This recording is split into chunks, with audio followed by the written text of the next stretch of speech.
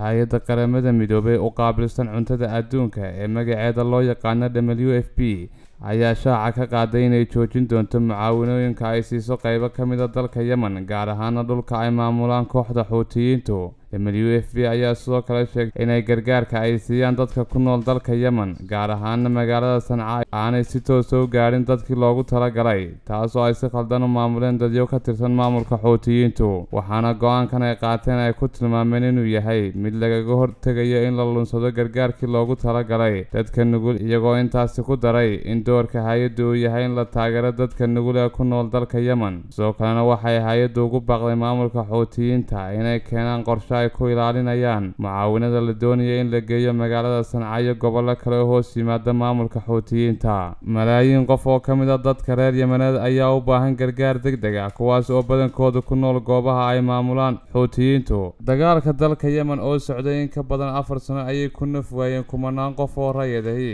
kaasoo lagu tilmaamay inuu yahay masiibo bini aadami sameeyo tii ugu xumayd ee la arko wakhtigan adeega cusub ee shirkadda dahabshiil iyo ii dahab casriyeynta hanaanka cusub ee xawilaadda dahabshee haddaba macmil adeegan cusub ee casrigaahi waxa uu kuu sahlayaa in adigoo jooga gurigaaga hoose goobtaada shaqo aad lacag ugu xawishid asxaabtaada iyo ehelkaaga jooga daafaha dunida